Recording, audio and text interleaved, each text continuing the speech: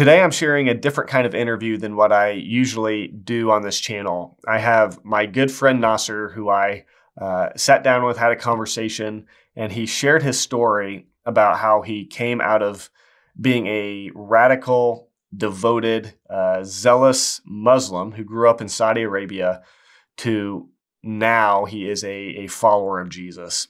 Um, something very significant had to happen in his life to change his mind. Nasser was, again, a very devoted Muslim, zealous, passionate, convinced that that was the truth, convinced that Christians who taught that, mm-hmm. you know, Jesus died on a cross, that Jesus was God, things like that, was convinced that that was blasphemous and, and that it was ridiculous. But something happened that changed his mind. Something in his life happened that convinced him that Jesus is the way, the truth, and the life.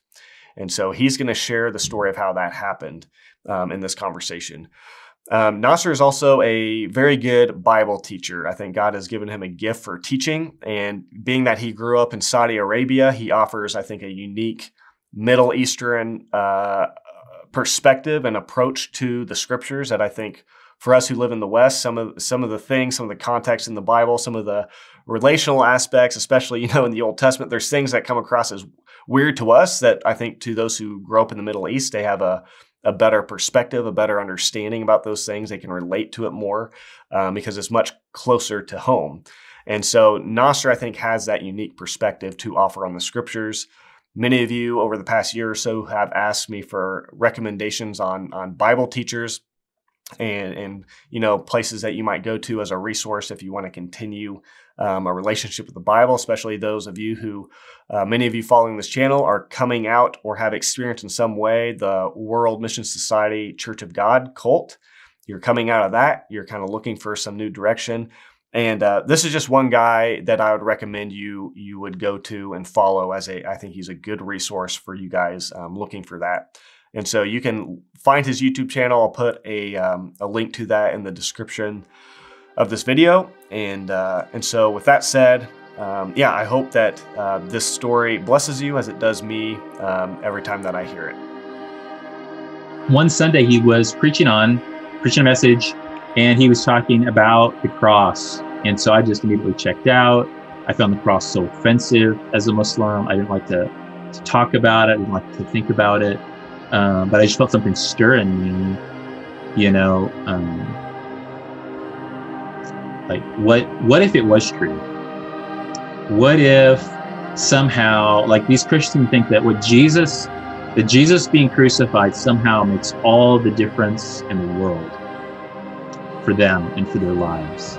And so what if there is something to that and I just don't understand it? Um, and and what if that something was going to make all the difference for me. Am I? Because remember, at this point, like I'm pretty sure I'm going to hell. Uh, and and what if there's something about in that story that's relevant to my situation?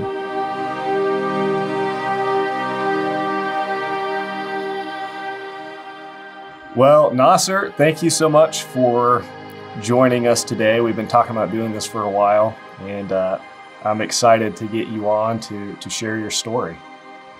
Well, I am very excited to finally be doing this. I think we've talked about this for months. it's yes, it's finally right. Happening.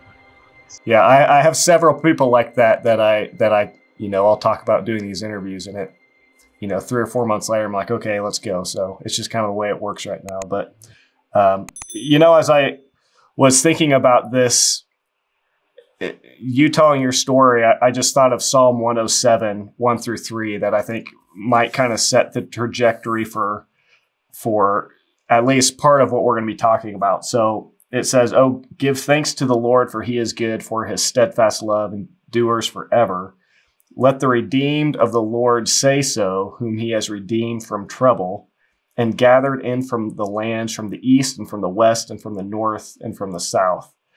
Uh, so that part where he says, "Let the redeemed of the Lord say so." Like if you've been redeemed by the Lord, then say so. Like yeah. it's saying, like talk about it, tell people about it. Don't right. keep it bottled in. Let it let it be known, because there's other people who who need that hope. There's other people who need to redemption. have a similar story of redemption happen in their lives. So absolutely, absolutely.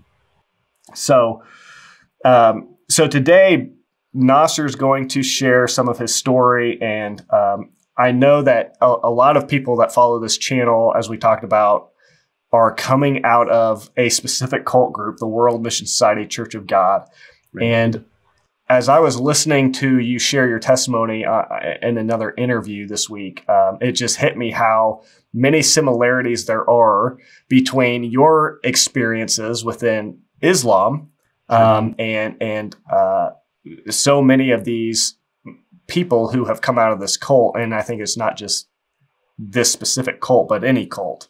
Um, And so, so I think as Nasser shares his story, um, Nasser is a former. Uh, how would you how would you describe what you formerly were? I guess I'll let you do that. Muslim, right? But then Islam has. Uh, it's it's a big enough house that it has a few different rooms in it, and so I, I was from the the subsection of Islam, um, the the bigger subsection of Sunni Islam, um, which is sort of traditional Islam, and then within that, the subsection of um, Salafi um, Islam, which is sort of the flavor that's uh, primarily practiced um, in and around Saudi Arabia, which is where I grew up. Okay, and you were you were uh, quite militant in your religion, right? Oh yeah, that tends to be a hallmark of uh, Salafi. That that's that particular sect of Islam because the the the root the word goes means um, it's it's a abbreviation of Salaf Saleh, um, which means like the the the pious or the righteous um, ancestors or predecessors. And so the idea it's sort of like Islam taken back to its roots, to its sort of like fundamental Islam, if you will, and so it's that idea of like we want to we want to live as Muslims, um, modeling our lives as close as possible to that first generation um, of the followers of uh, Muhammad, who's the prophet of Islam. So like that's going back 1400 years. So we're trying to have that that same mentality and, and lifestyle of people 1400 years ago um, in the Arabian Peninsula. Um, and and for me, I was I was available for jihad in all its forms. That that was my upbringing. Is like if I got to go on a battle, some foreign battlefield somewhere, and kill people in order to defend what I think are the rights of my Muslim brothers and sisters, I'm willing to do that. Um, whether that means going to Afghanistan, um, whether that would have meant like in the 90s, um, you know, going into the former Yugoslavia, wherever that might be, I was willing to go and do that.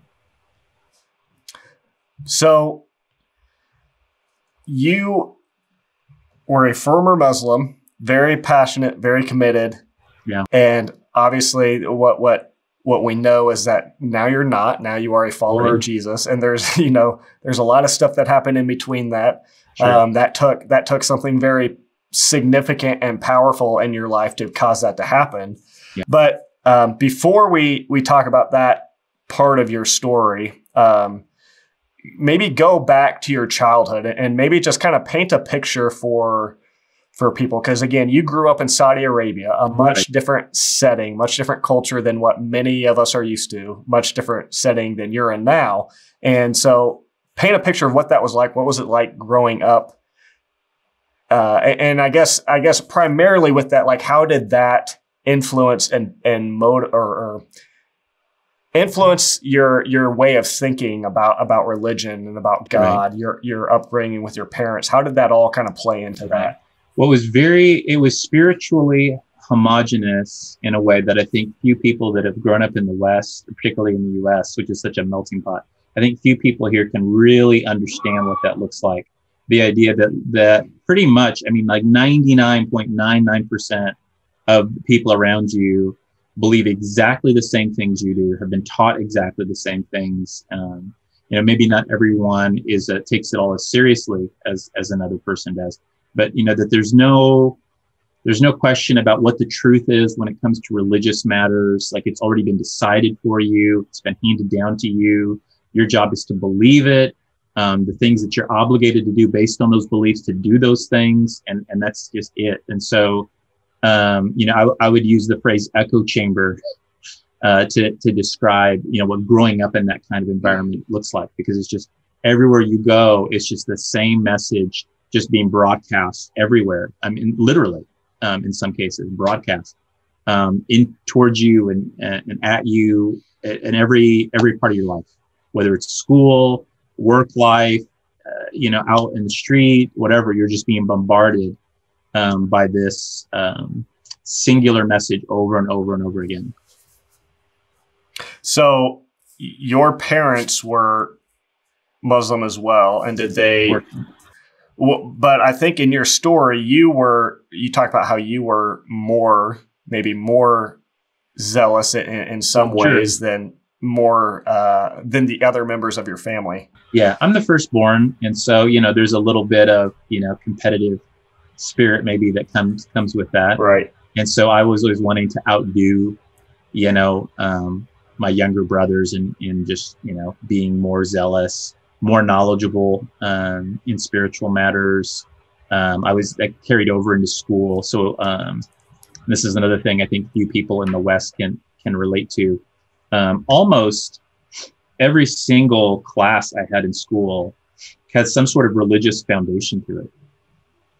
Even like science classes, like we would learn things about biology, and then in, in, embedded in that lesson would be some verses from the Quran or something that Muhammad said that sort of validated what we were learning, almost as if like this thing that the nature that we observe is true because God said this already, you know, to Muhammad 1400 years ago. And so we should not be surprised that that's exactly what we find in nature. So like religion is just worked into everything. And then we would have, you know, um, whole, you know, subjects in school that were just focused on particular doctrines. So, and I'm talking, in case you're imagining like, oh, like in high school, right? Now I'm talking all the way back in first grade. We're taking classes on um, understanding the, the vocabulary of, of sixth century Arabic so that we can understand the Quran. Um, we are, are studying particular doctrines. That there's a doctrine, Tawheed, which is the oneness of God. Like we were, we're studying that stuff in first, second, third grade, spending an hour, you know, on that, you know, three days a week or whatever. Um, and it was just, it was just wrapped up in everything. And, and I wanted to, to be the best in school. I wanted to have the highest grades in my class, and so I just went after all this stuff and just soaking all this in, and uh, and I took it all very very seriously, much to a much greater extent than than most of my peers.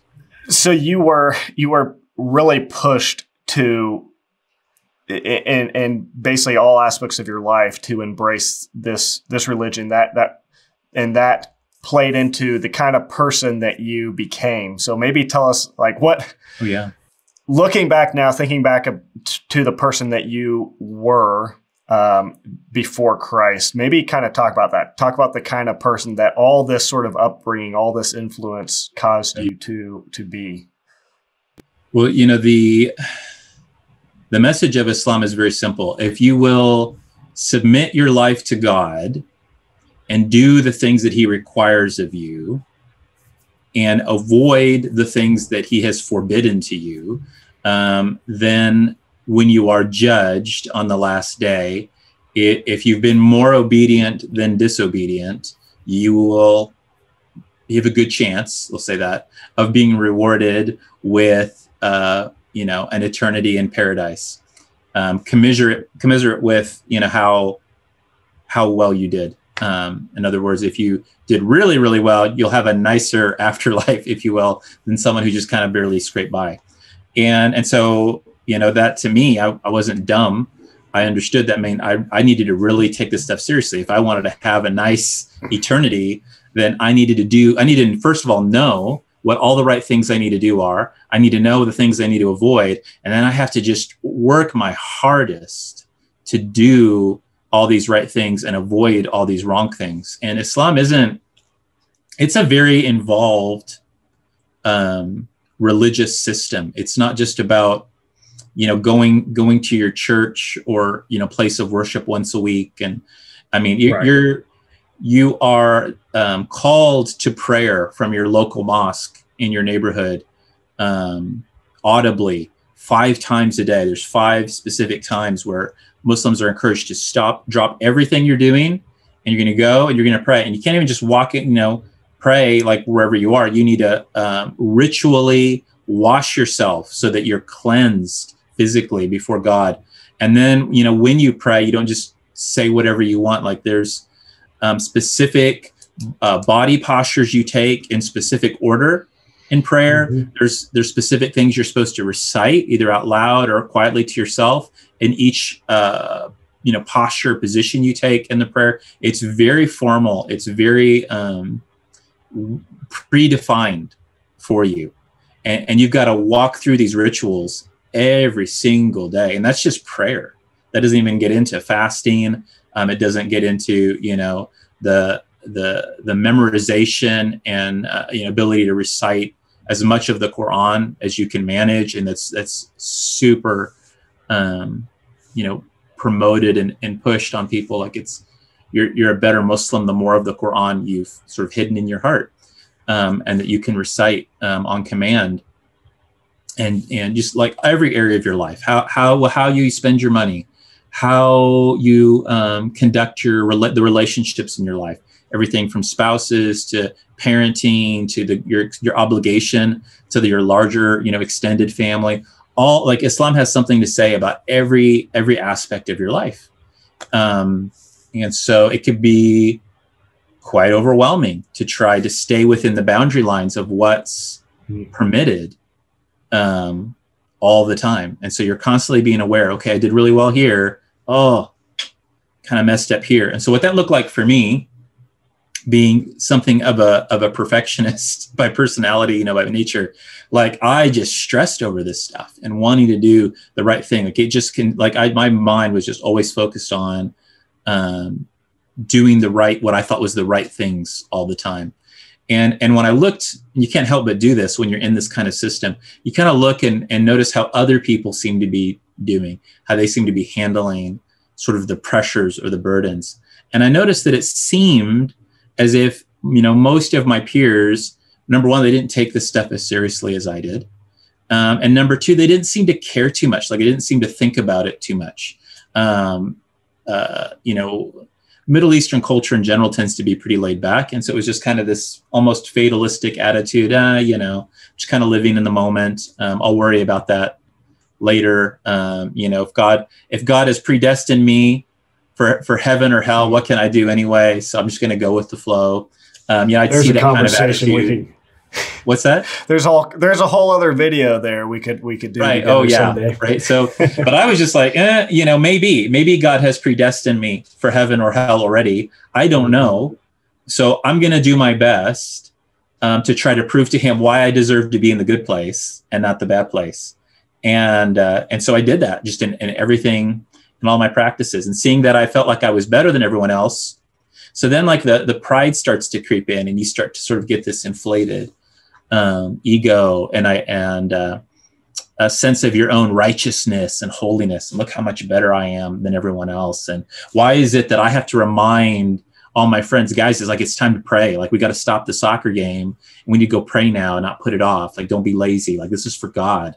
Um, and uh, and so yeah, I took I started to take a lot of pride in it. It became more than just uh, you know earning my my salvation or, or, earning approval from God, but also came about sort of proving that um, I had this down. Like I could do this, I could live this life, and I could do it as well as, if not better than, you know, most of the people that I was interacting with, um, you know, who were Muslims. That Yeah, that sounds very familiar in so many ways, um, as, as, it did the, the past times I've heard your testimony. And, and when I say familiar, obviously I'm referring again to to this specific cult group, the World Worldness Society Church of God, that we're commonly dealing with. But it's not just I'm not just pointing my finger at that group or or Islam. This is this yeah, this is the condition, right? Of the this is what human beings naturally will do when right. they are uh, trying to do religion apart from the spirit of God. That this is this is what is produced. It's it's you know yeah. it goes back to Genesis, doesn't it? Like you're talking about all these these works and this burden that you felt. And I know in your story, all this led to eventually like this this guilt and this fear almost of, of hell um, this fear that you weren't doing enough and um, and, and all that reminds me again of of genesis adam and eve sin and what they did is they went and sewed fig leaves together and they tried to cover themselves up. Right. Well we and, can fix this. Yeah we can fix it. And, and, it produced fear like like rather yeah. than being confident and free in who they were before god they hid in shame and fear. And right. and as they were separating themselves from God, they were trying to to cover themselves. They're trying to do something that God sure. wanted to do for them, and so um, so that uh, that sounds exhausting to me. That that sort of life, um, and, and, I've certainly tasted of it. I think any believer can slip into to sort of uh, totally moments of, of that sort of mentality of uh, of works, but in essence, that was a a works based mentality that was really driving oh, everything you did. Absolutely. So, was there a lot of uh, like fear of hell involved in that? Um, I guess maybe maybe tell us like how how did that sort of mentality eventually affect you? What did it ultimately uh, uh, push you toward? I, I remember again in your in your story before, as I've heard it, it seemed like there was a lot of fear that started to come in, guilt, and just a lack of assurance. Right. That that didn't come in until later, um, mostly because I felt like as much as it depended on me, I was I was doing the right things all the time, right? And so you know, every year during uh, the month of Ramadan, you know, I I was fasting every day, never missed my fasts uh, never cheated. Um, I, you know, was was always made uh, uh, not missing my prayer time, my my five daily prayer times. I made that a priority in my life. I was able, and as, and as long as I was able to keep these things up, it sort of created a sort of self assurance. Like I don't have to worry too much about. I mean, obviously, God can do whatever He wants. Um, you know, as a Muslim, I believe that God is is sovereign to the point that even if I feel like you know my my good deeds outweigh my bad, God can still choose for whatever reason he wants to still throw me to hell. And that's okay. Like in Islam, that's totally fine. Like God's not mm-hmm. bound to anything. Um, and so, but you know, I thought, yeah, you know, I feel okay. I feel like I'm doing all right. It wasn't until honestly that, you know, I got, had come to the US um, as a young teenager uh, got stuck here because of the first Gulf War, kind of sort of landed in this role of, of feeling like a Muslim missionary to the Midwestern, you know, America and, you know, trying to lead Americans to become Muslim, um, recruiting them, you know, if you will, um, into Islam and, and then got married um, to my wife who came from a Christian background, but pretty sure that since I'd converted others, I could convert her. And then that wasn't working out. Um, she, for some reason, just didn't want to deny Jesus as Savior and Lord, and I couldn't mm-hmm. understand why. Uh, yeah. But what uh, after the initial, you know, early months of our marriage, and she realized that like she was never gonna like through any kind of apologetic or arguing human argument was going to be able to sway me from from beliefs that I held so strongly and was so zealous for, and it wasn't even something that you know, I decided I want to be a Muslim. You know, my ancestors 1400 years ago decided we would be Muslim and it's been passed in that kind of a chain, right? From, from generation to generation for 1400 years. Like, who am I to say all these people were wrong about something? No way. I, I have too much faith and trust just in my own people and my own family, my own genealogy that, that we've been handed, I've been handed the truth and I have to stay firm and true, no matter what anybody might, no matter what evidence somebody might claim that they can offer to to sort of tempt me out of the the faith of my fathers. Like not going to happen.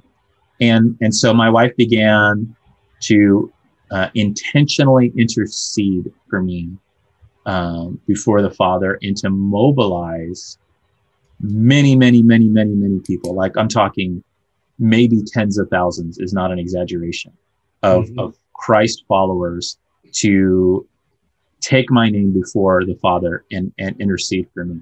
And when people began to do that, and I didn't even know that was happening, but as soon as people began to do that, that's when suddenly I was having these weird thoughts about what if I'm not good enough? What if, uh, what if I pray 10,000 times in my life and that's like means nothing to God? What if, you know, all these what ifs that I never would have dwelled on before were now just, I couldn't get them out of my head. And I would have these very specific statements that would just sort of drop into my heart. And I didn't know, like, why would I think such a thing? I later learned they were verses, like direct quotations from the Bible. No one had ever said them to me before. I'd never read the Bible, you know, become before becoming a follower of Jesus. I, I refused to read the Bible um, because I thought it was a corrupted work of of human deception. Uh, and so, but I have these statements, you know, about about my my righteousness being like filthy rags, you know, something about my good works being like cleaning the outside of a cup when the inside is dirty, and all these things. I'm just like, oh, why am I having this? Is a weird thought for me to have, and I didn't know where it was coming from. I actually thought it might be satanic attack. So, so you're saying that um, before work because this is about to get into to the good part, the, yeah. the the powerful part where something really shifted for you. But before that, basically what you're saying is that you came to America. Um, first, what what caused you initially to come to the U.S.? Well, we would visit the U.S. about every other summer, um, okay. just to take a, a family vacation. My mom's originally from the states, um, she was a, an American who converted to Islam um, before she married my father. And so she has family here in the US. And so every two years we'd go and visit them. And it just worked out that uh, the, the summer we were here was the summer that Saddam Hussein invaded Kuwait. Okay. And so basically, your your view of the West, your view of America, probably in particular, was was what? Explain explain what your view was, and then like what your thoughts kind of were that now you're very stuck negative in this place. view of the U.S. Uh, you know, growing up, we were told that the the two worst nations on the planet are the United States and Israel, and we called them the the big Satan and the little Satan. Wow, that's, that's what we thought about them. And yeah, you know, growing up, you know, and as someone who growing up as a as a child like we were going back and forth to the US and there was everything I saw when we would visit the US just confirmed what I was being taught back home in Saudi, um, which is America um, is full of, of violence, lawlessness, hedonism, materialism, godlessness, um, promoting sexual um, deviancy and promiscuity, alcohol and alcohol abuse and drug use and abuse, pornography, like everything. And, and that it seeped into their whole culture to the point that their movies are full of it, their music is full of it. Um, you know, the fact that that they had, you know, had to put warnings and labels on movies and music like explicit lyrics or explicit content. Like we didn't have any of that in Saudi Arabia. Like they would, we wouldn't be allowed to to view a movie that had explicit content in Saudi Arabia because it's not right. Like you shouldn't you shouldn't allow people to see this stuff or, or listen to this. That was what I was taught. And so the fact that America mm-hmm. doesn't care, and then you combine that with every time I heard an American politician speak, they always at some point we talk about America as a Christian nation, and they used to say that a lot more, by the way, in the 70s and 80s than they do today. But back then, like that right. was the thing we'd hear often. Like America's a Christian nation, and so it's like, well, is it any wonder? Because clearly the Christians are the minions of Satan, um, and their goal is to spread this, you know, Satanism, um, materialism, all over the planet because they want they want everybody to watch their movies and listen to their music and and take on you know their you know form of government and their you know all of these freedoms that really what it to me like american freedom was about giving people um as much freedom as possible to sin and to promote mm-hmm. that that like to encourage people to use that freedom to sin as much as possible and that this was actually um, packaged um, embedded in the christian message itself because what i'd hear from christians is whenever i would talk to them about sin was, well, I don't have to worry about my sin because Jesus died on a cross 2,000 years ago. So I can do whatever I want now and I'll go mm-hmm. to heaven. Right. And I was like, uh, wow, you people are deceived. Yeah, right. Uh, which, which, by the way, is is the the same thing I get accused for teaching often uh, on this channel. Um, which, you know, in some ways, I think um, I, I some sometimes take that as a compliment because in Romans, Paul was accused of preaching the same thing as he preached the gospel because the gospel's so free. There is so much freedom. It is amazing the grace and just the the ease of it. But um, if you if you misunderstand it, you'll think that that equals a license to sin, which it does not. But uh, you, though, tied all that corruption and sin to Christianity, though that you had that oh, that totally. was sort of a link in your mind. So when you came to the U.S., you adopted somewhat of like a apologetic type mindset, right? Like you wanted to go and you wanted to win people over, yeah, convince I people actually, over to I, the truth of Islam. What happened was I started to make friends. once once we were here, you know, and I didn't know how long we'd be stuck in the US, but you know, we were we are here long enough that, you know, we had to, you know, the summer ended, we had to get enrolled in school, you know, and so I started junior high, you know, here in the US and uh, didn't know how long that was going to last and I made friends. And obviously I was the only Muslim in my school, like completely, and uh, and so nobody understood me. Nobody understood my my background, my my perspective, and and at first I thought, all oh, these poor infidels, they're all going to hell. And then as I started to make friends, I thought, well, you know, maybe they just need someone to tell them the truth. And, and then they'd at least have a chance, they'd have an opportunity. And then I started to think, maybe that's why I'm here if God is sovereign and he's plucked me out of my, my, beloved nation of Saudi Arabia and has placed me now in the United States of America, maybe it's so that I could shine a light on the truth of Islam. And, and I genuinely wanted to see my, my closest friends become Muslim.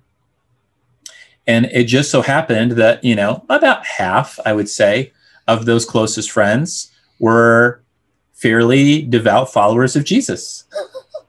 and so, so they were trying out. what I felt for them, they also felt for me. And so we were in this constant dance of of getting into these, you know, friendly, mostly apologetic debates in junior high and then in high school, um, trying to prove each trying to prove to the other that our religion was the right one.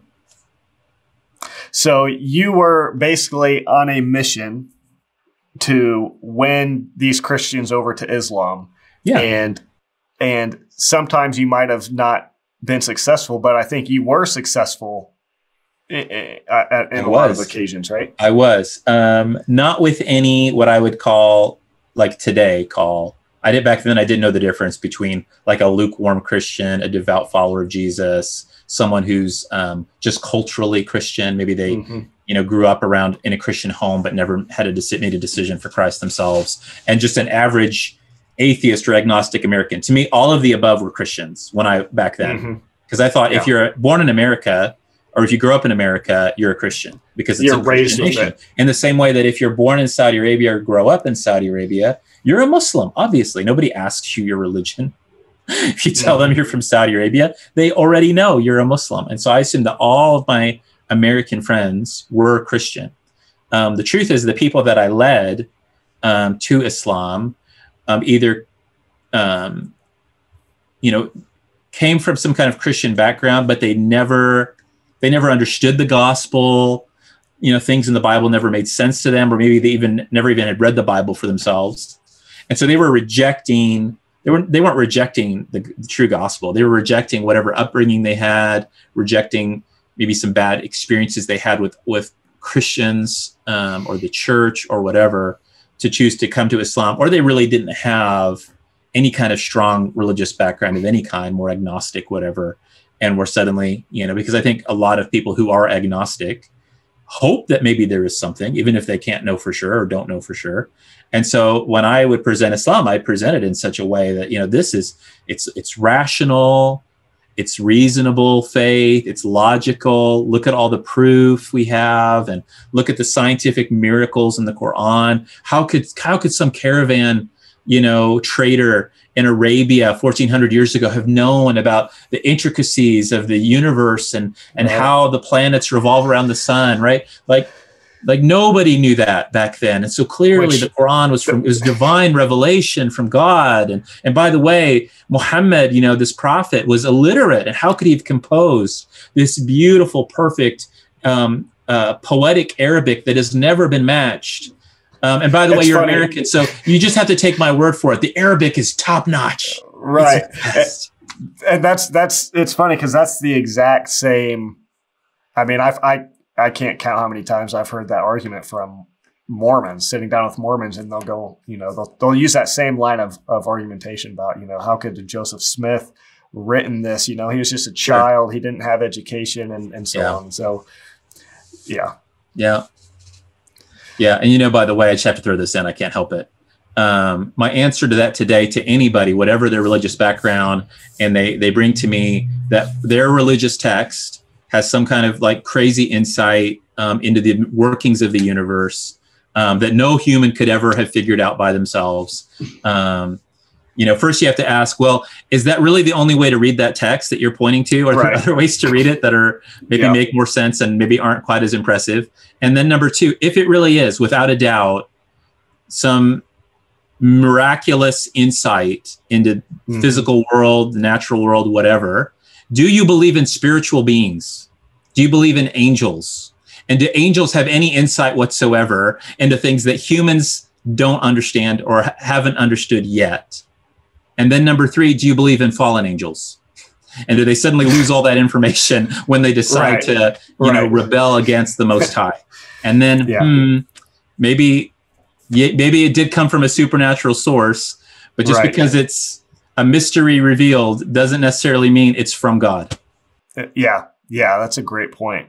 And you know, like I'm not just trying to pick on even Mormons or, or any specific group because I, I remember a time when I, as a Christian, would would sort of try to use the Bible in that same sense. You know, oh, yeah. I, would pull out passages from Job or Isaiah about, look, it says, you know, God hangs the, the the circle of the earth hangs on nothing and things like that. Like that proves that you know the Bible had all this scientific knowledge right. and, and like I I don't I don't argue that way anymore. anymore. Um, I don't. Good job. I don't try to, to use that sort of uh, apologetic methodology anymore because yeah. um, I think there there's there's some flaws in that. But uh, something I was curious about as you were you were, and we're going to get here quickly to to the turning point for you. But um, did you ever come across any uh, come across any Christians who had good answers who like you would talk to and and you knew you knew how to defend Islam like oh, you yeah. you you knew how to defend it and you knew probably how to make Christianity Christianity look pretty dumb to oh, the yeah. average the average Christian but did you ever come across any that uh, you feel like actually kind of gave you a run for your money um, there were a, there were a few probably one or two like just through high school uh, friends of mine that they could at least like we kind of like argue each other to a standstill. There were plenty that I felt like, and again, this is just was my perception of it that I just like destroyed all their arguments. they had nothing to say. You know, for me, it was case closed. And if they didn't become Muslim, it's because they were stubborn, you know, or you know, foolish, whatever. Um, there wasn't anyone else. There wasn't anyone that I ever felt really stumped me though, or that I ever felt like I didn't have an answer. Now they may not have thought mm-hmm. my answer was as satisfactory as I did, but I, I was satisfied. The the only person that really ever stumped me actually was my wife. Um, early on in our marriage, we're having these debates, and she was always trying to pull bring scripture into the discussion, and I always be like, no, no, that's out of bounds. You can't bring your Bible in because then I'm going to bring my Quran in, and we don't we don't accept um, each other's books. And so it doesn't mean anything. You're appealing to an authority that I don't recognize. And so then she would get into, well, why don't you? Like, I mean, the Bible came first. Like, how can you reject what came before? And I said, well, mm-hmm. you know, the mm-hmm. Bible's corrupted. it's been changed by people you know maybe at one time it was the word of god but so many hands have have meddled with the text that you can't know anymore what was original and what's what's been changed and this was totally like i've talked to my wife daisy you know since then about it many times. And this wasn't something like she pre-planned or thought about in advance. Really just the holy spirit just brought this to her uh, to her heart and then out of her mouth. She asked me she's like what what percentage of the bible do you think has been corrupted? Like is it 100% is it is it 70% is it 50% 30% like what percentage? And i was like i don't like no one ever asked me that before. And i was like i don't know like maybe maybe 30% maybe 50% i you know i really don't i never thought about that before and she then like without missing a beat she came back and said even if like 90% of the bible was corrupt 100% of it is pointing to christ as lord and savior and so even if just 10% of it is true that 10% still says the same thing that you're rejecting wow. so yeah. unless you believe 100% of the bible is false. You can't throw it out. You can't you can't dismiss. It's christology. And i was like i was stumped. I didn't know how to answer that because the only way i could refute that because at first i thought no that can't be true. It can't be 100% of the bible is pointing to jesus. No way. I, i've never i'd never heard that from anyone else um, before then. It sounded like i don't believe it. I was skeptical that was true. But the only way i could prove her wrong would be I'd have to pick this book up and read it for myself. And I didn't want to do that. So I just like, okay, right. I give up. I don't, let's, I, I, am not going to argue that anymore. And I stopped saying the Bible is corrupt at that point because the only way I could move forward with that argument would be to read the text. And I did not want to risk see. opening the Bible.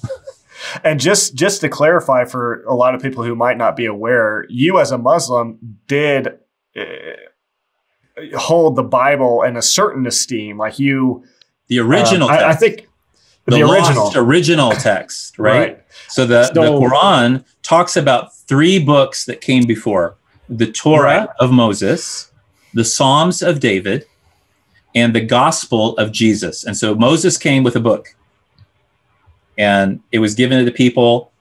The people rejected the message; they corrupted the text um, David came as a prophet with a book. He came with the Psalms to bring the Psalms to Israel. The, the, the message was rejected. The, the message was, was corrupted. Jesus came with a book. He brought this book called the Gospel, and, mm-hmm. and that was his message. And the he wrote he, he wrote, and it was it, it it's been completely lost, right? Completely, mm-hmm. like not even like because what you look at you know the new testament where's the gospel of i say right. gospel of matthew mark luke john where's gospel of jesus? Where's the one that jesus wrote? I would ask my christian friends. And they said well there isn't one in there. And i'm like ah oh, see you've lost it. That was the real gospel. Bring me the gospel of jesus and i'll believe that. Interesting.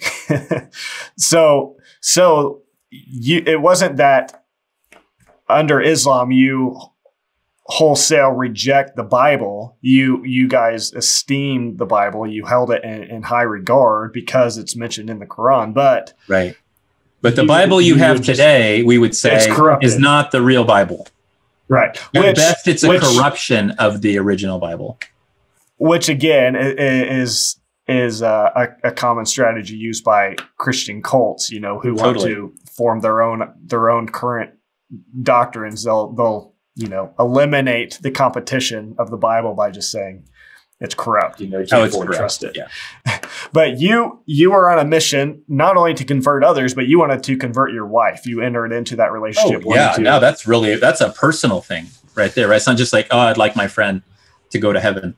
Um, but this is like my my bride. Like, of course, right. I want her. Um, to inherit paradise and want her to believe the truth. And also just selfishly, I'm tired of arguing about religion all the time with her. Like I just want her to be in unity with me. And mm-hmm. uh, you know, it wasn't, you know, right after we got married, you know, she became pregnant with our our first daughter and it was like, man, I don't want to have to because to me it wasn't a question of what our children like even if my wife had remained christian and i was muslim our children are going to be born muslim that's just how it works in in my religion and so but I knew that was going to cause even more conflict in the marriage because she's going to want to take the kids to church or something at some point, and I'm going to be like, nah, not a chance over my dead body. And I can just, I could just imagine the future, you know, the future arguments that we were going to have over that. And so it's like, oh, I want to get her converted to Islam, you know, before any of our kids are are at that age where that becomes um, uh, a conflict. So you were born in Saudi Arabia, born a Muslim, got trapped in the United States as a very zealous, hardcore. You're going to go out and you're going to convert Christians.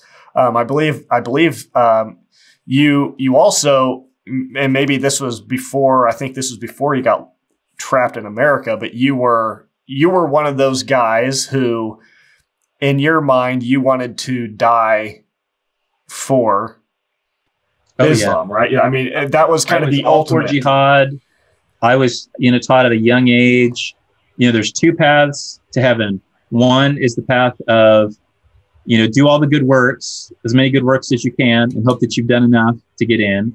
Or option two, die as a martyr, and no matter what you've done in your life, golden ticket, you get to go to paradise automatically because God. So, so that was with with uh, the fear and the guilt and the the lack of assurance that you began to feel and your your status before God, um, that was just in your mind maybe like a an easy one way ticket, an easy way to know okay, oh, yeah. this is the route where I can have a, at least a little bit more confidence of where I yeah. will end up. I mean, if you had two two options to get somewhere that you really wanted to get to, and one had a seventy percent chance of success and the other one hundred percent chance which one would you choose?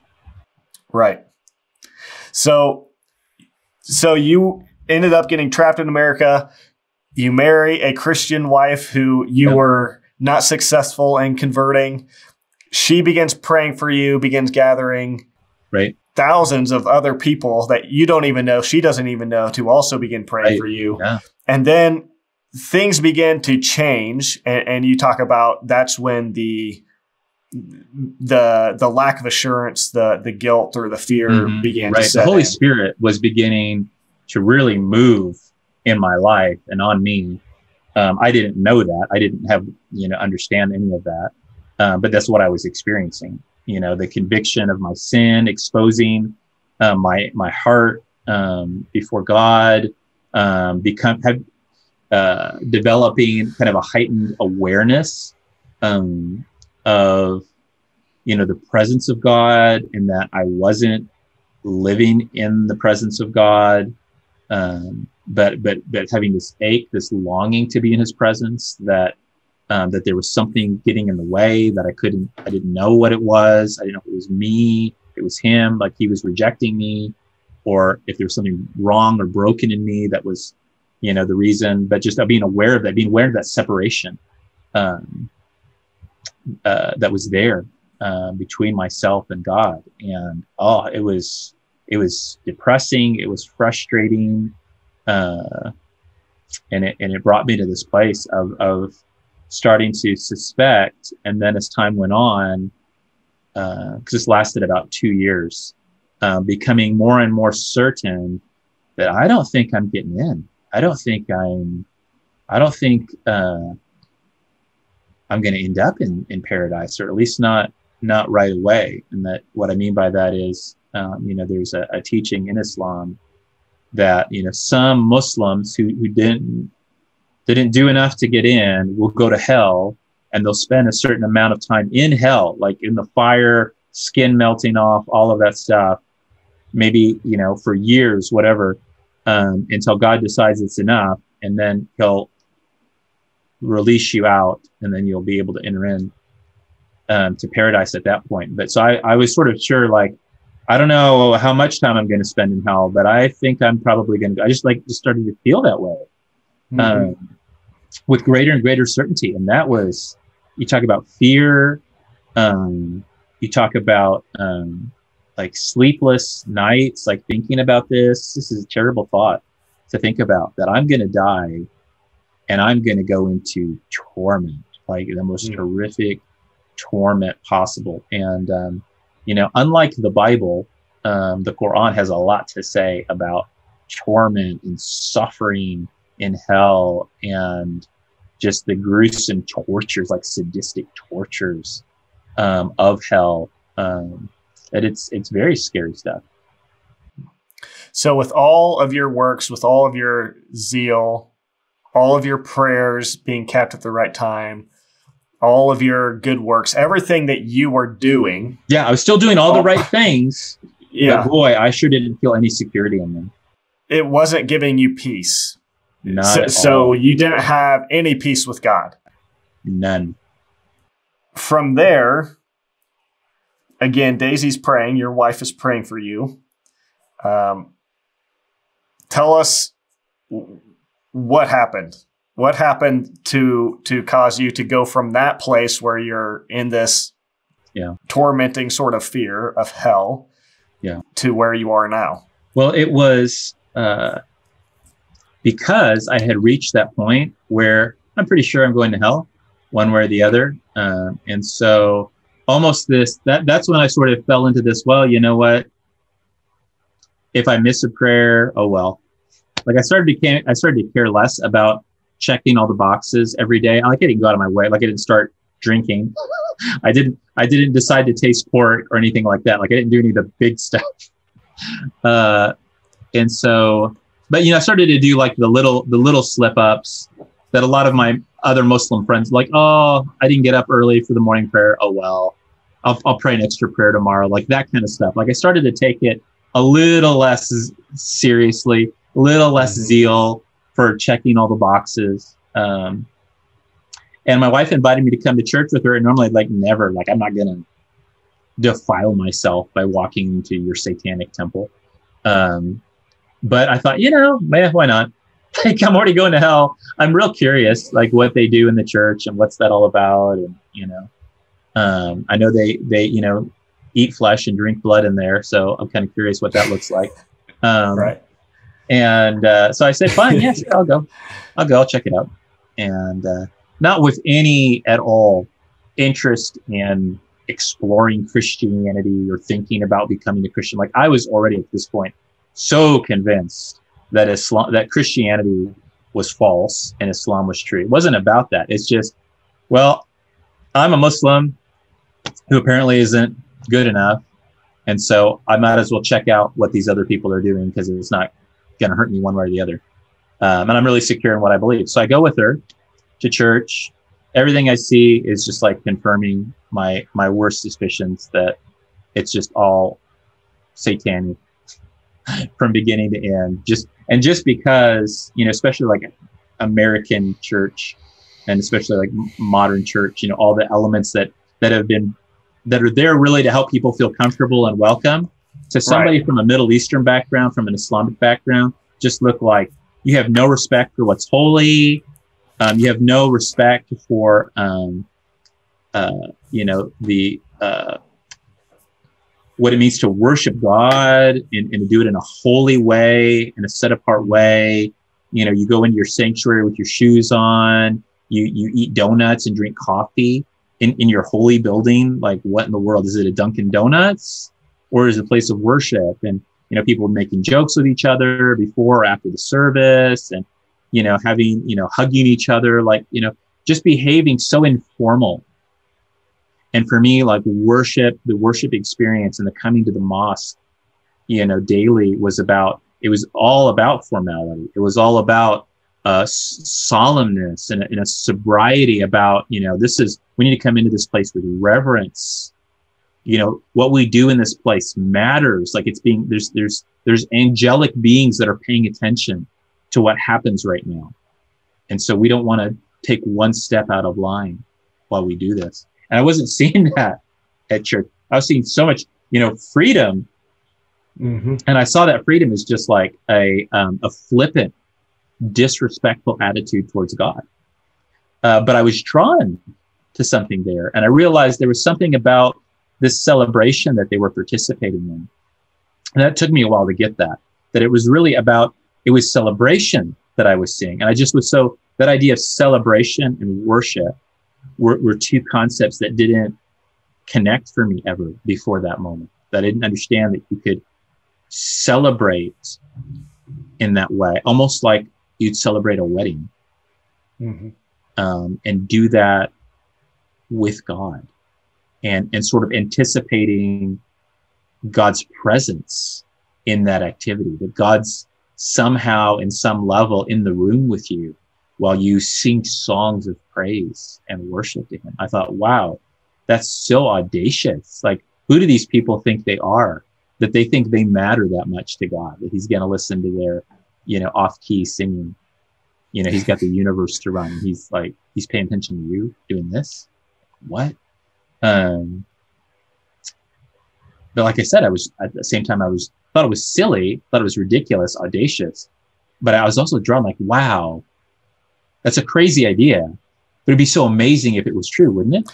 So you were sitting there and you ended up listening to this pastor. This pastor started preaching a sermon. Mm-hmm. And that's when. Yeah, I kind of figured happened? that they, they get a sermon every single week. Like every week, they get another sermon. And um, one Sunday, he was preaching on, preaching a message, and he was talking about the cross. And so I just immediately checked out.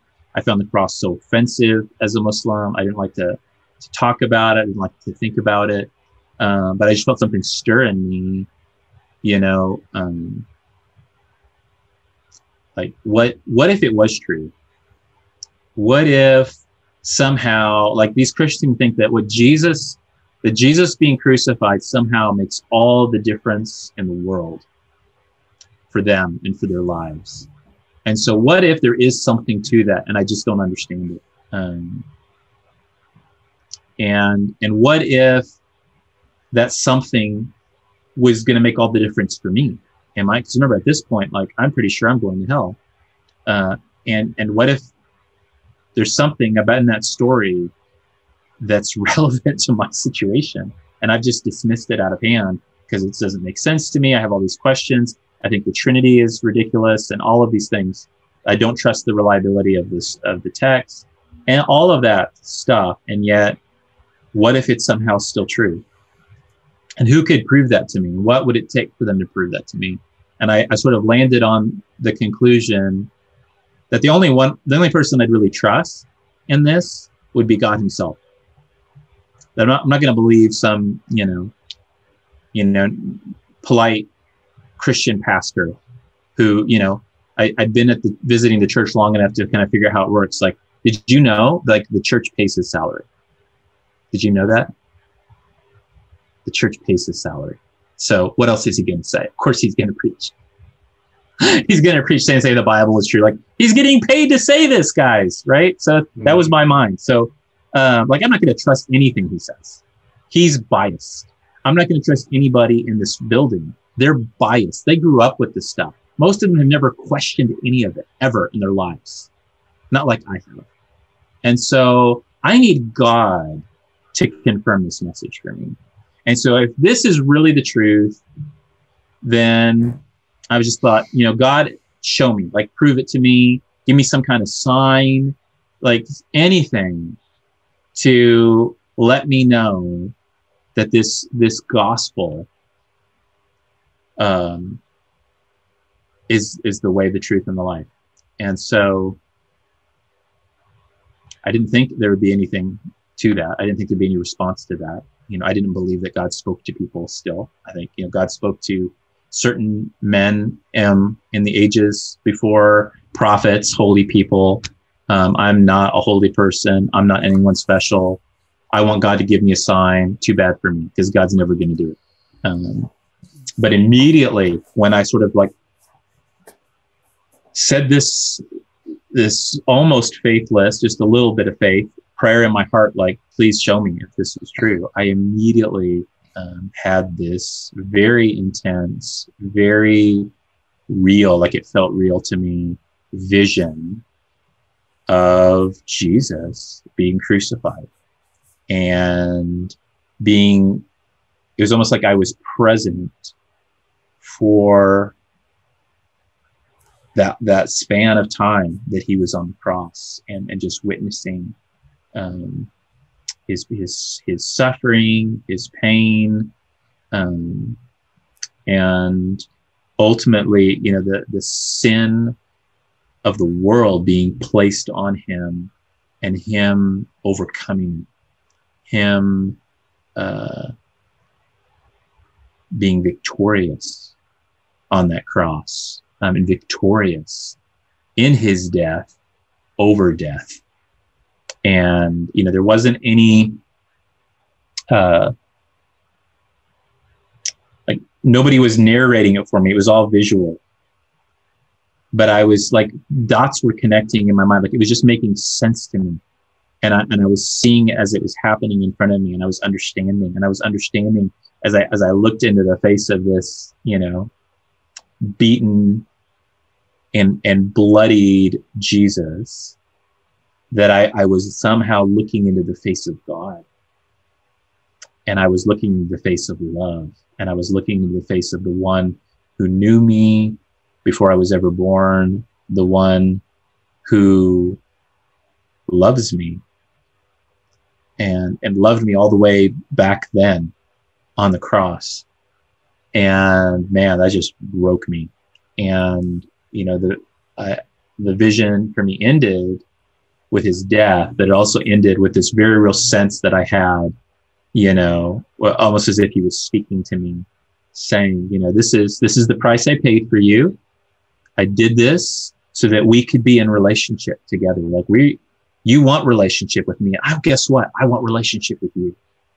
And this is what it took to, to open the door for that. But now, so you've got to make the decision the door's open, but you've got to make the decision to step in and, and to be a part of this, to accept the invitation. And, you know, i have been hanging out in the church for a few weeks. I kind of knew what that meant at that point, that it, it meant that I needed to confess with my lips, you know, that Jesus is Lord and, and to believe in my very heart uh, that God raised him from the dead, that he is alive, that he is reigning um, he is, he was not just he was Lord, he is Lord. Um, and so I did that um, right after that vision, um, experienced something very, what I felt was supernatural. Um, this presence that seemed to just fall upon me, this warmth, this amazing, like supernatural peace, um, feeling loved, feeling accepted, feeling like that hyper awareness I talked about, that hyper awareness of like the presence of God. Oh, it's so close, but just out of reach. Like now it wasn't just close, like it was under my skin. Like I had goosebumps, like it was crazy. Like there's God is now with me right now. And in, in, in this way I can't even describe. I have no language for it. And I just knew that something had changed. Like there had been a shift. Like, like I would never be the same. And, uh, that's how I was born again. And then I spent a whole week trying to logic myself out of that whole weird supernatural experience. Like, no, there's no way that could be like because I've been trained. I'm a Muslim, and and like none of these things I saw in that vision, the Quran like refutes that any of that could have ever happened. But I saw it, and it seems supernatural, and it feels like it was coming from God. But if it contradicts my holy book, then maybe it came from Satan, or maybe I'm just crazy. And it took me a week to realize that um, that love and that peace and that presence of God that I felt in that first moment had not gone anywhere. It was still there. And I don't think Satan can give you, you know, peace in your heart. I don't think Satan can make you suddenly like want to love your wife better, love your your infant daughter better, suddenly like give you this sense of like, oh, like joy in the Lord. Like I just never experienced anything like this. Like Satan can't give you that if this is what it means to be insane, that I guess I'm insane. I don't want to be sane. Uh, like I don't, I don't want this to end. Um, but I'm pretty sure at this point that this experience was from God. And I thought, I realized, oh no, I think I've become a Christian. Now what do I do? what do the rest of my life? Oops. Oops. wow. And I so accidentally became a Christian. Yeah. So you prayed this prayer and God answered in, in a real powerful way. And, and yeah. that doesn't happen. That doesn't happen for everybody. Um, no, it happens a lot for Muslims. Yeah, actually, um, not That's as much as people, people kind of exaggerate the numbers a little bit. Mm-hmm. It's not like hundred percent. It's but it's more like sixty percent, 60 mm-hmm. to seventy percent. um, of Muslims um, that have that have some kind of vision, Vision of Jesus. supernatural encounters, Yep. something like that. Yeah, yep. but it's always, and I want to So be real about this. It's always also though, almost always in combination with a, a very present, very real, physical, personal Christian witness in their lives. Hmm, you mean so like Like there's Christians around them who have shared the gospel. that that are sharing yeah they, they somehow gotten a hold of a Bible and have a chance to start reading it or whatever. And so that the vision or dream comes to help confirm, or sometimes the dream precedes the, the Christian witness that comes later that helps confirm the dream. Because that when that when the dream comes first, usually Muslims will say, I don't understand why do I keep having dreams about Jesus? Like what is this about? Why why do I keep seeing Jesus like this? And then Yep. you know God brings a believer into their life that, that usually shares with them. That that's usually how it how it goes in my experience. okay so god does do that and it doesn't Yes. happen with everybody but it happened happened with you where you Yeah. asked for for him to show you what was true and um and he did he showed you something that like you said changed your life and people can argue all day about you know like like like you argued probably with yourself about was that a psychological Oh yeah. uh you know but people at the end of the today day me, oh, Satan gave you that vision to tempt you away. Still today, yeah. Sure. I, and I've right yeah. I don't say who. but it's Uh, changed your life it's changed who you are and and and, and like you said Oh yeah. uh, Oh yeah. took you from people, a, like some of those uh, friends I mentioned, those friends in high school um, that I've been reunited with um, over the years, who knew me when I was Muslim, will Hmm. would if yeah if they were here on this call, like they would say, yeah, the Nasser you see today before you is not the Nasser from 30 years ago. yeah He's not the same person. Um, yeah yeah i can't i can't really um, i can't really imagine a a, a mean hateful self-righteous nasser it's hard to hard to I imagine yeah I bet you yeah I bet My you wife can. can. She can tell you. yeah Those first two years of our marriage were hard. They were brutal. So after you were born again, you had this uh, this moment where you were convinced that that all this Christianity stuff that you'd spent a lifetime thinking was a bunch of demonic, you know, garbage, to in a moment being completely convicted and convinced of who Jesus was. Um, so that was something that didn't go over well with your family, right? Of course. Like, how could it? How could it? Um, you know, if if that's your view of Christianity, and you know, you're like I said, coming from a culture and a background that is spiritually homogenous, like everybody believes the same thing. Like your belief is part of like what what marks you as a member of the community. It's what unites all of us together. And to say I don't believe this anymore is the same thing as saying we're no longer family anymore you know i want to change like imagine if one of your children said to you you know dad um, actually i don't want to call you dad anymore i'm going to call you jordan and i'm going to change my last name like one of your sons because i want to be associated with you i don't want anyone to know that we have any kind of relationship anymore like i want to be complete. i want to have it tattooed on my body has nothing to do with jordan hetfield how would you feel Hmm. and that's what. Muslim parents feel when their sons Yeah. and daughters say, I've decided to follow Jesus. They don't think, oh, well, good for you. Or, well, you know, everybody should choose their own religion. Like, they don't think that. They think, like, like you've just stabbed them in the heart. And you've brought shame in an, on an honor shame culture. You've brought shame on your family, on your parents, on your siblings.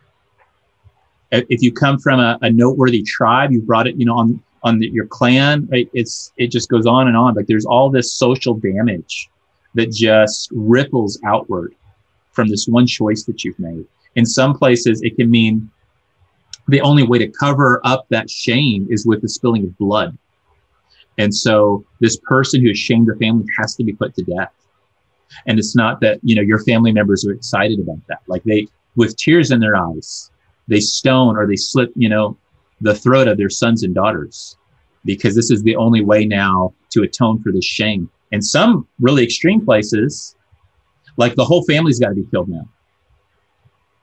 So I actually know a sister in Christ who, when word got out that she had decided to follow Jesus, her mother wept and said, You killed us all because her whole family, whole extended family, was going to be murdered by their neighbors back home because of this one person had committed treason by leaving Islam. It's a huge deal. And not, I wasn't looking forward to, I, I, I was up until the very last moment debating how I could like keep this a secret and just not tell anyone that I become, let everyone continue to think I'm a Muslim and just not make any waves. But unfortunately, my wife didn't understand any of the nuances because still newly married, cross cultural marriage, didn't quite get everything yet. And she didn't understand the ramifications when she began. As soon as I told her that I was born again, she immediately, you know, told her family, told friends, told church, right? Because I, I didn't know they were all praying for me. And, and so she wanted to let them know, like, praise Jesus, like this happened. And and so then the word was out. And so then I kind of was forced, like my hand was forced. I have to tell my family. They can't find out from a rumor. Um, I either have to tell them or I'm going to have to continually deny Christ over and over and over again. When they ask me, is this true? I heard you became Christian. And I didn't want to do that. How can I do that? I, after seeing what I saw, he went through for me. I'm going to deny him. I'm going to deny that that was real, deny that he did that for me. I can't do that. So I have to confess. And so I confess um, to my youngest sister. Um, her response was she made the decision she wanted to follow Jesus. Actually, she'd already made the decision, but she was so terrified of her jihadist older brother and what he might do to her if she left the faith um, because of which was you. So she, I, yeah, I was, was the scary guy. I was the scary guy in the family. And she had already become is, is, Jesus follower now. So now the door's open. yeah. Right, I can come to Jesus. So your younger sister, before you had become a believer, she was already. Oh yeah. She had already my, made a decision. My sneaky wife was like evangelizing my younger siblings behind okay. my back, like this whole time. And so it, it really took hold, you know, for my sister. Like she just really loved what she saw in Jesus um, and how, how Jesus in the Bible speaks to women and treats women. Um, really, but she was afraid of, of how you would respond to that. Yeah, she's afraid of this guy. She's afraid of you. Imagine that, that I, I might kill her. Okay. Yeah. And yeah. yeah, who knows? God only knows what I would have done if she had, while I was still a Muslim, left the faith. But it wouldn't have been pretty. I can tell you that. Um, and so then I shared with one of my brothers.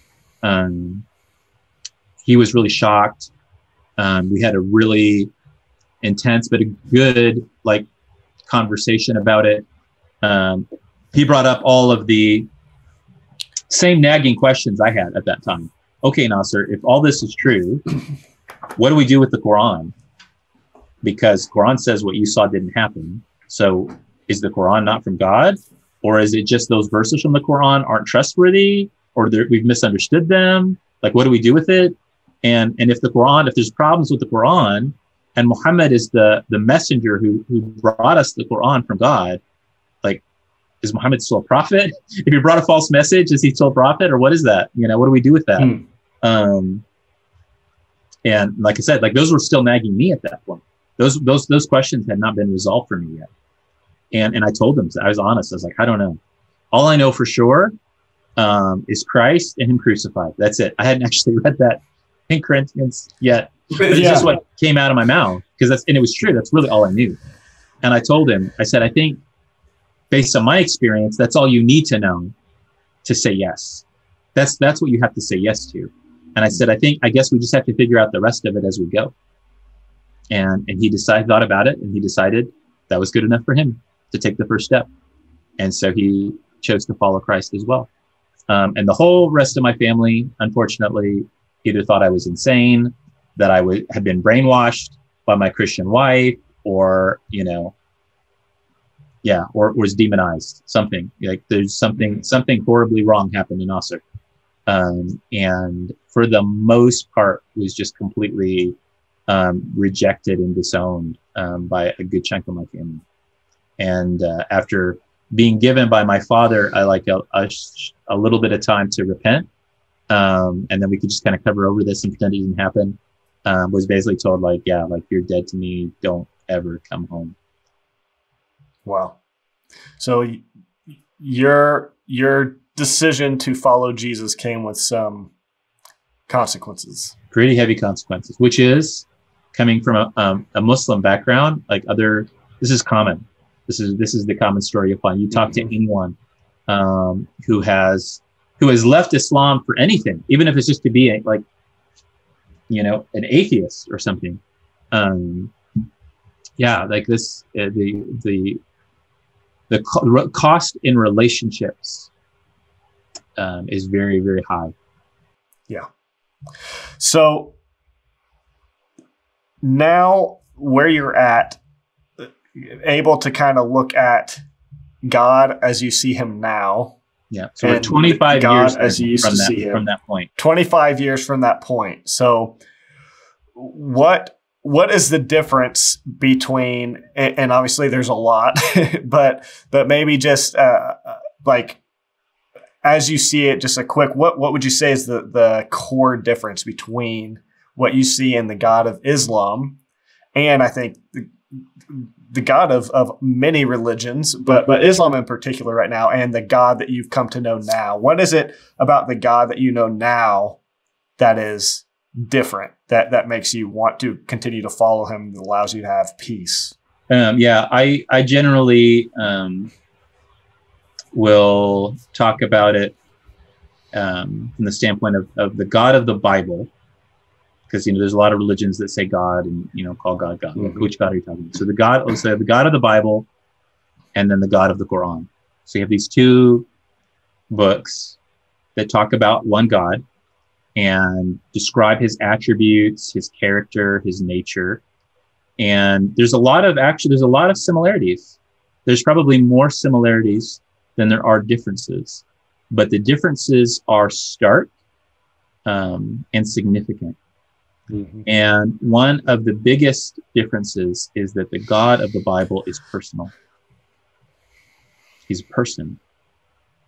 Um, he is a God of community and relationship and desires intimate partnership with human beings.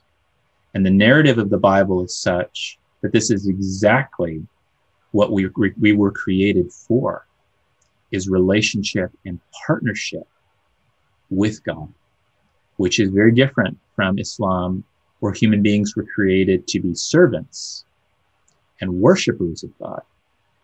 Um, and God is impersonal. God is so transcendent in Islam. It's unthinkable that um, you could have a personal kind of face-to-face relationship with Him, even to the point that in the in the uh, the coming age after the judgment, and and people are assigned their places in eternity, that there will be even in heaven this sort of hierarchy of levels within paradise with God at the very top and sort of the people that just barely made it in on the very bottom and everyone else kind of in between according to their works.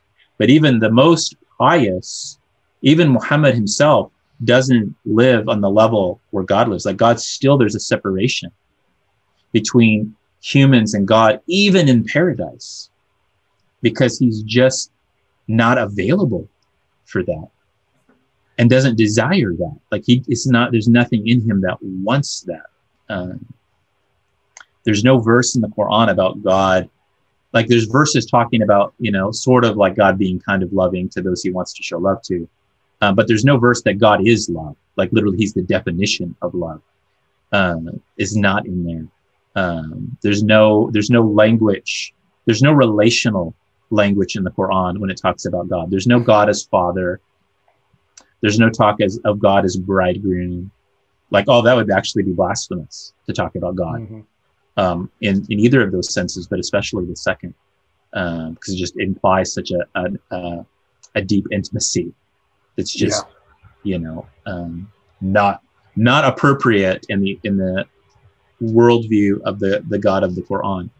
Um, and these are significant things. I mean, for mm-hmm. me, because I I can't imagine anymore um, how in the world I could get through this crazy life. And I mean, all the stuff that we're seeing in the world today if I wasn't able to walk through these things, and, and I've experienced my family, and you know, um, brother, know, we've experienced our share of suffering, and um, and I've experienced my fair share of persecution. Um, I don't know how I'd walk through that without God being with me. Not just Him being my God, not just Him being for me, but Him being with me is such a big deal. And that is, I think, a unique uh, attribute of the Christian mm-hmm. faith is that is that God wants to dwell with us and in us, and that we could somehow, as imperfect and and sometimes very broken vessels, um, still be counted worthy by Him, by what He's done for us, um, to partner with us in such a way. Like it just blows my mind. Um, I think the Christian life is the best life on planet Earth. And I've heard people say that who have experienced the worst atrocities you can imagine, people that have been um, had their lives taken from them by groups like ISIS. And yet, with tears in their eyes, they can raise their hands up in the air and praise God for He is good and His love endures forever. That they can raise their hands up and say, Let the redeemed say so, like what you started us with um, today. Um, and people, I mean, they have suffered a thousand times more than I ever have. And they can say that life with God in and through Christ Jesus is the best life that any of us could ever have. And that this life is available for each one of us right now. Like the door's already open. Like all you have to do is say yes to that invitation. Come in to bow the knee before Lord Jesus. And, and in acknowledging him and coming under him as Lord, you suddenly find like, wow, like what an upside down kingdom where the king, the king serves his subjects. The king is willing to become like a slave and die a slave's death to set his subjects free. Like it's just amazing. Hmm. Which that that that does a good job. I was going to ask a, a, a, secondary question to that, but I think that kind of answers that. My question was going to be what what makes Christianity, Jesus, and the gospel unique amongst other religions eh, from your perspective, having been another yeah. one, and that's that just that simple point that that the God we serve, the the Lord that we follow, is is one who isn't this distant. You know, that's a big part of what you said. He's not just this distant, far off angry, con- condemning, judgmental, just waiting for us to do something wrong. But actually, he sees us in the junk and the mess of where we're at, and he humbles himself. It's Philippians 2. He, he though he exists in the form of God, he doesn't consider that something to cling on to, but because of his love and goodness, lays that aside, becomes like us, takes the form of a servant, again, is what Philippians 2 says, and dies on the cross. Um, that that's a God who who you know, as you're talking about, in times of suffering, in times of trials, uh, times of doubt and confusion, what whatever emotions, whatever difficulties, fill in the blank there with whatever. Uh, whatever plagues the, you as a human being, we all have have junk. It's some more than others, but that's that's a God who will give you comfort. That's that's a God who is and and and and I don't think it's just emotionalism either. I think it's something something that God is willing to to speak to us in a very real way. Absolutely. Um, he, he's willing to to move in our lives and and yeah, and so so all that to say, you kind of answered my my other question, but to kind of wrap this up, I I wanted to ask you. Um, there's a, uh, a lot of people, you know, again, a lot of why I wanted to do this interview is is just hopefully to to a big part of it was to give a lot of these members coming out of this mother god cult just right. kind of another perspective and so, somebody who can relate to them that sure. that um, is coming from this perspective but so much of your story is wrapped up in this this contrast between a works based sort of relationship with God and one that is grace. So just very quickly, there's so many people that uh, whether whether it's in this specific cult group that we often deal with or or others. That that's that's it right there. Like like that's yeah. that's what matters, and that that's what again, I think the human tendency is in the Garden of Eden. Again, going back to Genesis, which is another thing we started with. There were two the two trees. There's the tree of the tree of life and the tree of the knowledge of good and evil. And and human beings, you know, God didn't just want human beings to not eat from the from the knowledge of evil. He didn't want them to just not do bad things. He didn't want them to to eat from the tree of the knowledge of good.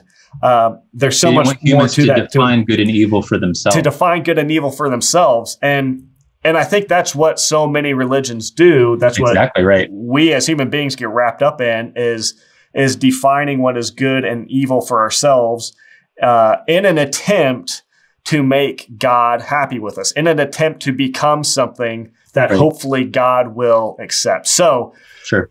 With with people in mind that are caught in that mindset that that that would look like somebody like you and me. Even today, there, there's people in this group who would look at somebody like you and me, and what they'd see is, oh, you guys are, you know, you don't keep the Sabbath on Saturday. You, are not keeping the Passover according to the Old Covenant law. You know, that's, I keep the that's Sabbath a big thing Saturday. for you. So there you go. but I guarantee you do so, you don't do it the right way is what they'd sure. say. sure. But, but, but what just, I would argue, and I think with where you're going with this, and I, am familiar enough with this group because I've actually spoken to members of it before. Um, right. By randomly that have approached me out in public. Um, I, I, know that they, um, they they still use the Bible to try to justify right. a lot of things and to justify that kind of worldview. And I can tell you that that's not the story. And all the way back from the very beginning to the very end of the book, it is a consistent narrative that re-emphasizes over and over again God's grace and mercy towards us, our our um, fallibility, and yet God's kindness and patience in the face of that, and the significance of faith, and that it is only by faith or trusting, trusting God, that if He hmm. said something, He's going to do it, like it's going to happen. Um, trusting His word, trusting what He has spoken, uh, is over and over again what uh, makes anyone in this story justified, or that is to say, declared righteous or in right relationship with him. It's consistent. And I'm talking from the very first beginning page. It's not a New Testament concept, anything like that. And um, I, I, I, I'm so discouraged sometimes, you know, when I see even Christians who don't understand that and who talk about, and, you know, I think this creates opportunity and space for, for cult groups to come in and, and try to subvert the narrative when Christians don't understand the Old Testament, when they think that somehow the Jews were trying to earn their salvation, and then Jesus and Paul came and like helped them mm-hmm. like try to fix that, like that was not what Judaism has ever taught. Um, and and that's not the message in the Torah. It's not the message in the prophets. It's not the message in, in the, the Hebrew writings.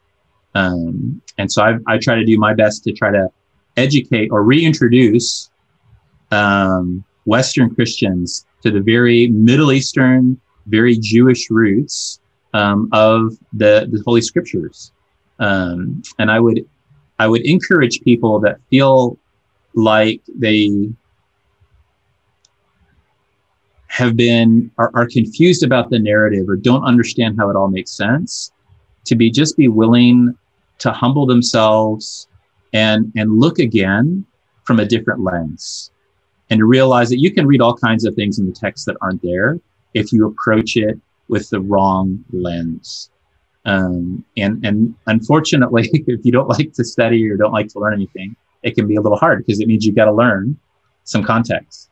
You've got to understand um, a little bit of, you know, what was going on and what what uh, what life was like in the Middle East 5,000 years ago, 3,000 years ago, 2,000 years ago, um, to help you understand um, the culture and the context the scriptures were speaking to primarily. In other words, at first, and yeah, it still you know applies to us. But um, if you don't do that, you're going to misapply so many things and misunderstand so many things, both in the New Testament and in, in the Old Testament. Um, but yeah, again, that's why I, I've really committed my life to to studying the Word and teaching the Word and teaching the Word from the right lens, using the the correct you know context.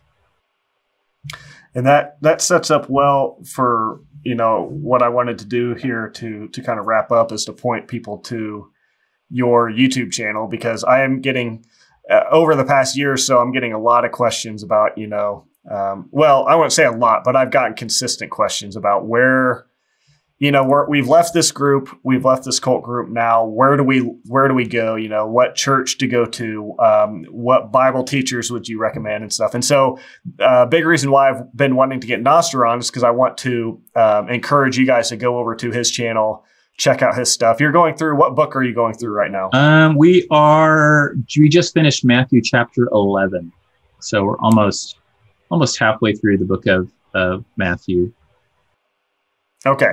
So Nasser's going chapter by chapter through through verse specific verse. books. Yeah.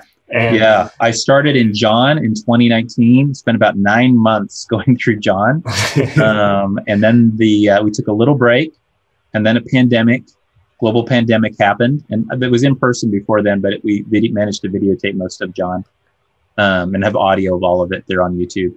And then when the pandemic happened, I've just been kind of following the leading of the Lord. And so he had me go through Esther and then Daniel um, and then Ezra Nehemiah. And then we've now jumped into Matthew, and that's where we find ourselves now. Where we go after Matthew, I don't know. I'd kind of like to go back to the beginning, go back to Genesis. I think a lot of people would mm-hmm. love me to tackle Revelation next, but you know, we'll just see how the Lord leads. Good luck with that. Um, yeah, there's a lot of people who would who would uh, again referring to the the WMSCOG, they would they would appreciate that. It'd be interesting actually to hear some of your take on it. Um, sure. But but yeah, I would I would suggest to people to go check check that out because, like you said, you offer a a Middle Eastern context, sort of in, yeah. in the way you um, approach the Bible and the perspective you give. Yeah. Right. So it, it's you kind of have a, a, a, one up on us in, in that way, in, in, in the sense that you can you can understand so much more the stories, the relational aspects, the certain certain things that probably are completely wacko and wacky to us in the right. West are like, well, that's yeah, that makes sense. And so, so uh, yeah, I I would recommend um, to those of you, especially who've asked for for a Bible teacher that I'd recommend, here's one that I would I would commend to you to go uh, watch some of his stuff. So, um, with that said, Nasser, um, yeah, do you have do you have any last words, any last thoughts? I, I guess what's in my heart that I just can't get out of is just any any last things you'd say to to people who are you know who are confused about God and who are yep. maybe just even even tempted to just completely abandon faith. You know, they they've tried out this religious stuff, whether it's coming out of Islam, whether it's coming out of a cult group, and they're like, you know, e- either they're in this mentality of of I'm just giving up because I feel so condemned, or or I don't even believe in God anymore, and I don't, I, you know, I don't just don't even believe in this faith stuff. What that that's a broad scope there, but just kind of a last last word to people like that yeah, I empathize with people who have been burned um, on religious things and religious systems, and even trusting people that claim this. I mean, like if you're if you've been listening to Jordan and I, and you're still like, who are these guys? Like, I get it, right? Who are we? Um, I, I will tell you that that we're sincere. We both believe that that we we know the truth. We're in the truth. But let's be fair. Maybe we're wrong. Maybe we're deluded. But I'll, I'll tell you what what has never what didn't fail me and was was never failed anyone that I know who was sincere and seeking truth. And that's the important part because I don't think this is going to work if you really don't want to know the truth. like the Lord's just not going to shove it in your face. He's not going to force you. Um, and he's not going to force your hand. He's not going to grab you and, and, and pull you into something that you don't want to be a part of. He's going to invite you, um, and he's going to be kind about it. He's going to be gentle about it. Um, but you've got to say yes to that invitation. And I think if you're starting in a place where you don't know, you're just seeking, that's okay. You know, Jesus, Jesus has good things to say about those who just want to start by, by just seeking, by, by maybe even knocking on a few doors. And I would encourage you to, as crazy as it may sound, I don't know your background, but just, you know, get in a, in a quiet place, in a private place. Don't feel like there's any, anyone watching or judging you and just speak to God as if he was right there in the room and just confess whatever it is, your frustrations, your confusion, if you've got bitterness, disappointment, whatever it may be, with, with all that you've experienced thus far in your life. Just confess that to him. Even if you're like, confess that you're mad at him, that he's let you down in your mind, that you ended up in this group or that group or believing this or believing that or whatever. Like just mm. confess that all to him. And then just ask him sincerely to lead you into truth, to show you, to um, confirm to you what is true because you want to walk in and I promise you, he's he's going to answer in his one way. I don't know. I can't promise he's going to answer the vision or a dream or that there's an angel's going to show up in the room. Like he can do whatever he wants. He's God. But I, I can promise you he will be he will answer that prayer. He will because he's faithful and he's good. And that's why you can trust him. That's why you can give him your life. You can surrender your will to him, your dreams to him, your hopes to him. That can sound awful if you're doing that to a dictator or a tyrant. But he's the most loving, wonderful being in the universe. And he is fully and completely trustworthy, faithful, loving, merciful, compassionate, and so, so patient with us. And so he's be so, so patient with you. So just be willing to humble yourself and ask him. Ask him to guide you and lead you, and he will. That's good. Couldn't have said it better myself. so thank you, Nasser. Thank You're you so much for coming on. And, and um, I will I will put links to Nasser's YouTube channel in the, the video description so you can check that out. So thank you so much. Yeah. Nasser, you have a great night. Um, you too, brother. And hopefully we'll hopefully we can hang out soon and, and uh, yeah, talk about Star Wars. Talk about Star Wars and yeah. Mandalorian that's, that's and all kinds. One of, of one of the core things that knits me and Nasser together is, is, both our love and our frustrations with with the Star Wars series. It. So yeah. got to take the the good with the bad, right? Yep, right, right. There, there's there's was more bad in the Star Wars stuff up until the Mandalorian, and now it's kind of. But that, that's Disney Plus a, is somehow redeeming it. All right, that's a digression, but it is. We'll end with that thank you everybody for watching, and, and uh, yeah, we'll see you soon.